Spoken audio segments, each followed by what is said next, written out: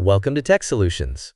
In this tutorial, we'll explore how to install QEMU and KVM on Debian 13 Trixie. QEMU is a versatile open-source emulator that, when combined with KVM, kernel-based virtual machine, provides a robust platform for creating and managing virtual machines. By following this step-by-step -step guide, you'll be ready to run various operating systems within Debian.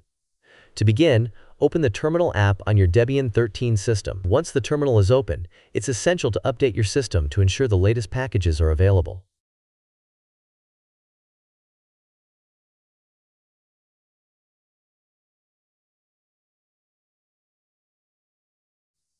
Next, install QEMU using the Package Manager. This will install the QEMU system along with all the required dependencies.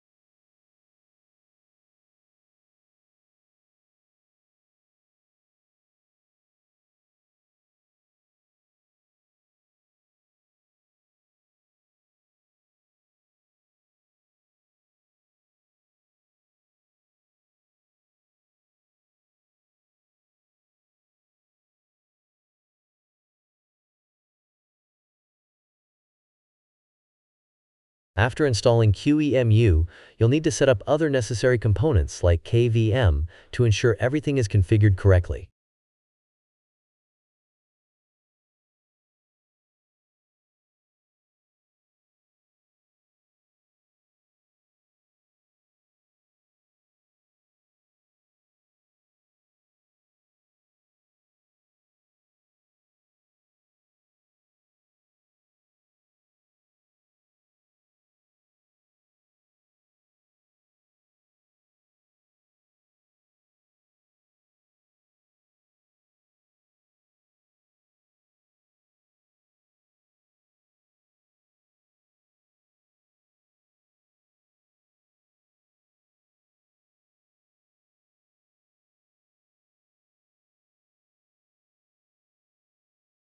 Finally, install the Virtual Machine Manager to manage your virtual machines more efficiently.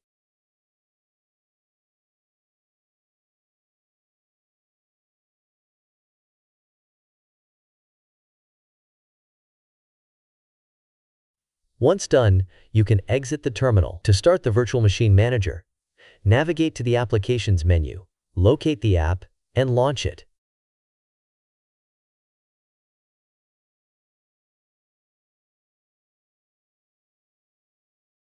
Give the application a moment to load its components. Once it's ready, you can create a new virtual machine using QEMU on Debian 13.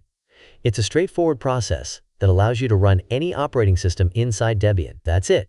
You've successfully set up QEMU and KVM on Debian 13 Trixie. With this setup, virtualization has never been easier. Thanks for watching, and don't forget to like, share, and subscribe to Tech Solutions for more Linux and Windows tutorials. See you in the next video.